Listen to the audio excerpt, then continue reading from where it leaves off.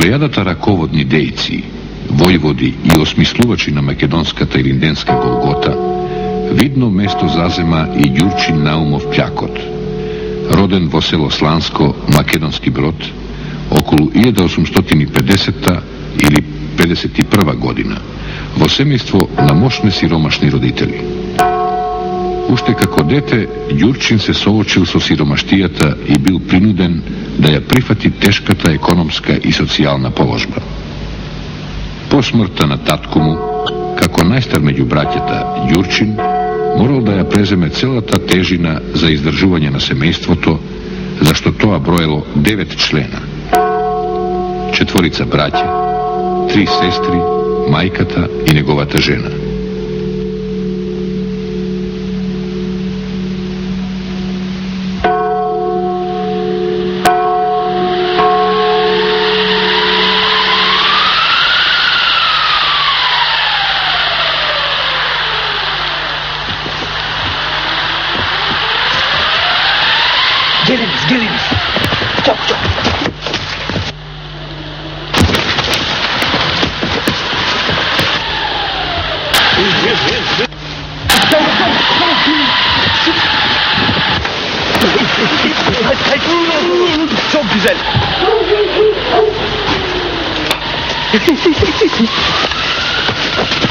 哎哎！哎呀妈呀！妈，跳！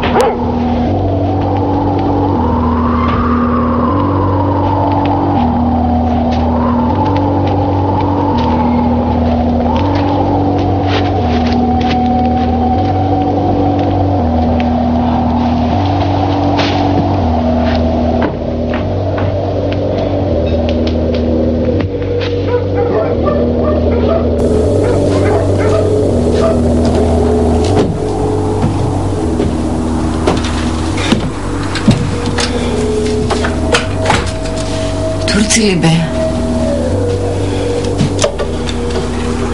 Мамичето нивно, што бараат од мене.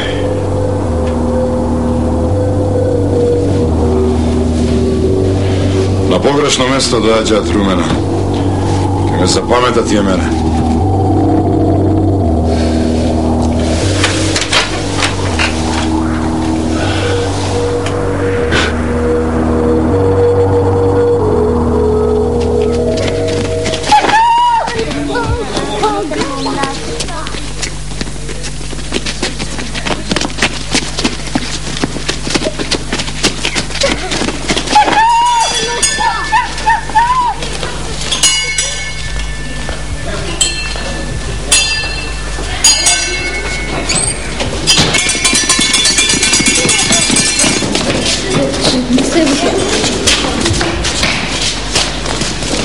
Кај учителот појдите ни. Да.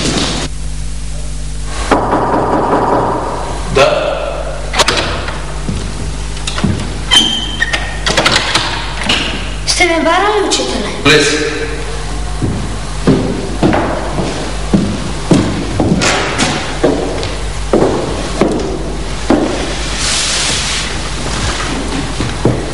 Невене, зашто зборувавте надвор? Се пукала во село Сланско. Тоа не е твоја работа.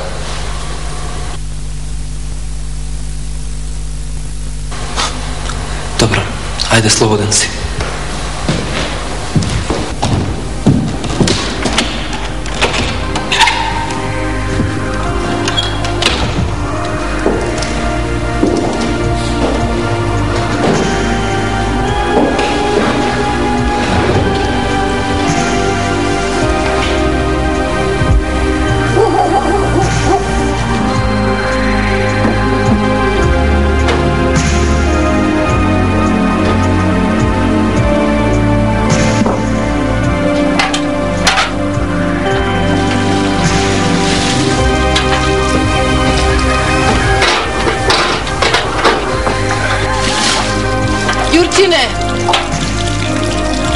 Martine!